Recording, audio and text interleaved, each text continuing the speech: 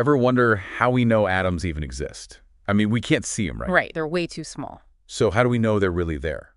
Well, it turns out there's this really cool phenomenon called Brownian motion that actually helps us prove atoms exist. Brownian motion. Yeah, you know that kind of like jiggling motion you see when tiny particles are suspended in a fluid? oh yeah, like when you look at pollen grains in water under a microscope. Exactly. That's Brownian motion, and for a long time it was a real mystery to scientists. Yeah, because like, why are those particles always moving? Shouldn't they just settle down eventually? Well, according to the physics of the time, they should have. Classical thermodynamics just couldn't explain this constant jiggling. So that's where Einstein comes in. Yep. Einstein was like, hold on a minute, what if we're thinking about this all wrong? okay, I'm intrigued. He had this radical idea that maybe those tiny particles are constantly being bombarded by e even tinier particles, that we can't see the molecules of the fluid itself. So like a microscopic mosh pit. Pretty much. Every time one of these molecules bumps into a larger particle, it sends it off in a random direction. Because these collisions are happening all the time and from all sides, the particle just keeps jiggling around. Precisely. And that was Einstein's big aha moment. He realized that this seemingly random jiggling Brownian motion was actually direct evidence for the existence of molecules and atoms. Whoa. Ah. So by watching these tiny particles dance around you, you can actually prove the existence of things you can't even see. Exactly. And Einstein didn't stop there. He went on to develop a mathematical framework to describe this motion. Okay, so he didn't just say, hey, look, those particles are moving, so atoms must exist. He actually, like, did the math to prove it. Oh yeah, he was all about the math. He wanted to show that if his theory was right, you could actually predict the behavior of these particles based on the properties of the fluid, like its temperature and viscosity. So how did he do that? Like, how do you even begin to measure something as chaotic as a drunken walk, as he called it? Well, he started by focusing on something called the mean squared displacement. Mean squared what now? Basically, it's a way to measure how far a particle wanders from its starting point over time. Okay, I'm falling so far. And Einstein derived the super elegant formula that connects this displacement to the properties of the fluid and to time. Give me the SparkNotes version of that formula, please. It essentially says that the displacement of a particle is proportional to the square root of time. So the longer you watch a particle, the farther it's likely to have strayed from where it started. oh, so it's not about how fast the particle is moving, but about how far it ends up from its starting point because of all those random bumps. You got it. And here's another key piece of this formula. It includes something called the diffusion coefficient. Okay, I'm gonna need a little help with that one too. What's the diffusion coefficient? It's basically a measure of how easily a substance spreads out in a fluid. Like if you drop a bit of dye in water, it'll spread out faster in warm water than in cold water. Oh, yeah, that makes sense. So the diffusion coefficient captures that. It describes how the properties of the fluid affect the motion of the particles within it. Okay, so Einstein basically connected this macroscopic observable property, the rate of diffusion, to the microscopic world of molecules causing the jiggling. Exactly. It was a brilliant insight that linked the visible to the invisible. I'm starting to see how this all fits together, but we still haven't talked about how he figured out the size of atoms, right? We're getting there. Yeah. Remember Avogadro's number? Vaguely. It's like that really big number that tells you how many atoms are in a mole of substance. Yeah, like 6.022 times 10 to the 23rd power. A number so big, it's hard to even imagine. Well, Einstein figured out that his formula for the mean square displacement could actually be used to calculate Avogadro's number. Wait, hold on. You're saying you can learn about something as fundamental as the number of atoms in a mole just by watching tiny particles jiggle around. That's the power of Einstein's work. Mm. He connected these seemingly unrelated concepts in a way that no one had ever done before. So how did he actually propose doing this experimentally? What would that experiment look like? Well, it involved a microscope, a stopwatch, and a whole lot of patience. You'd basically observe the motion of these tiny suspended particles under a microscope. So like literally just watch them jiggle around. Yep. But the key is to carefully track their positions over time. Like, take snapshots at regular intervals and measure how far they've moved. And then you plug those measurements into Einstein's formula. Exactly. You use the measured mean squared displacement along with the temperature and viscosity of the fluid, and boom, you can calculate Avogadro's number. It's kind of mind-blowing that you can figure out something so fundamental just by watching tiny particles move around. It really is. And the craziest part is that Einstein's theory was actually put to the test just a few years after he published it. Oh, really?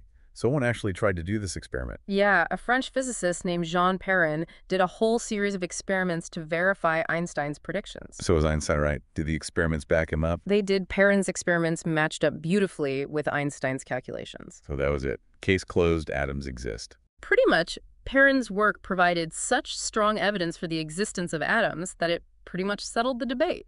Wow, what a victory for Einstein and for science in general. It was a huge turning point in our understanding of the universe. It's like we suddenly had this new window into the microscopic world. It makes me think about all those classic images of atoms, like those little balls with electrons orbiting around them. Exactly. Those models were based on the insights gained from studying Brownian motion. So what did this new understanding of Brownian motion lead to? Like, how did it shape modern science? Oh man, it had a ripple effect across so many fields. Okay, give me some examples. Well, for starters, it laid the foundation for statistical mechanics. Statistical what now? It's a branch of physics that deals with the behavior of systems with like a huge number of particles. So instead of trying to track the motion of every single atom, you look at their overall behavior as a group. Exactly. It's like trying to understand traffic patterns. You don't need to know where every single car is going. You just need to know the general flow. That makes sense. So statistical mechanics is basically crowd control for atoms. Yeah, kind of. And it's been super helpful in understanding all sorts of complex phenomena, like how heat flows or how gases and liquids behave. It's amazing to think that this all started with watching tiny particles jiggle around. It just shows that even the seemingly mundane can hold the key to unlocking incredible scientific discoveries. So what about other fields? Where else has Brownian motion made an impact? Well, take chemistry, for example. Brownian motion plays a crucial role in understanding chemical reactions. Okay, I'm listening. So for a chemical reaction to occur, molecules need to bump into each other, right? Yeah, that cuts. Well, the random motion of those molecules driven by Brownian motion is what determines how often they collide. So the more they bump into each other, the faster the reaction goes. Yada, it's like a microscopic dance floor. The more bumping and grinding, the faster the chemistry happens. Okay, that's a pretty good analogy. Mm-hmm. And what about biology? How does Brownian motion play into living things? It's super important for understanding how cells work. Really? Yeah, think about how nutrients and waste products move across cell membranes. Okay. Well, a lot of that movement is driven by Brownian motion. Those tiny particles are constantly jiggling and bumping into each other, helping to transport stuff around inside the cell. So it's like a microscopic delivery service powered by randomness. Exactly. And it's not just about transport. Brownian motion also plays a role in things like cell signaling and even DNA replication. Wow. So this seemingly random jiggling is actually essential for life itself? It's a fundamental part of how things work at the molecular level. This is incredible. I had no idea. Brownian motion was so important. I mean, it's everywhere. It really is. And we're still discovering new ways to apply this knowledge, like in designing new materials or developing targeted drug delivery systems. It's amazing how something that seems so simple can have such far-reaching consequences. That's the beauty of science. You never know where a simple observation might lead you. It's really pretty mind-blowing when you think about it. It is. It's like we're surrounded by this invisible world of constant motion.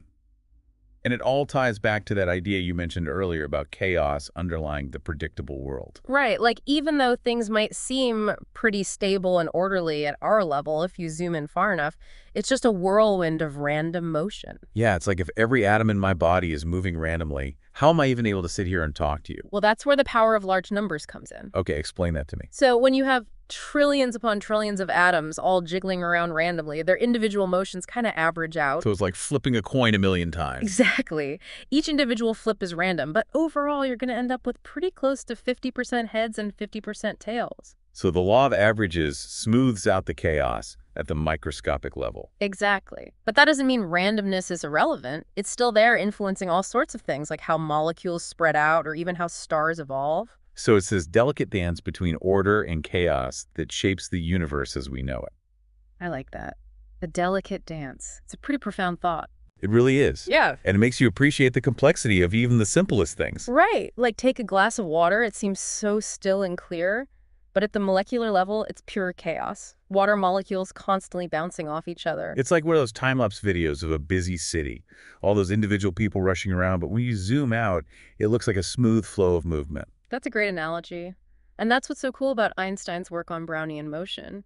It gave us a way to see that hidden world, the randomness that drives the predictable world. I think I'll never look at a glass of water the same way again. I hope so. Yeah. It's a good reminder that there's always more to discover, even in the most ordinary things. Well, this has been an incredible deep dive, I've got to say.